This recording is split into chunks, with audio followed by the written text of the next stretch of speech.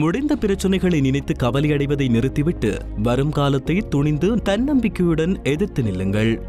முடிந்த பிரச்சனைகளை நினைத்து கவலையடைவதை நிறுத்திவிட்டு வரும் காலத்தை துணிந்து தன்னம்பிக்கையுடன் எதிர்த்து நில்லுங்கள்.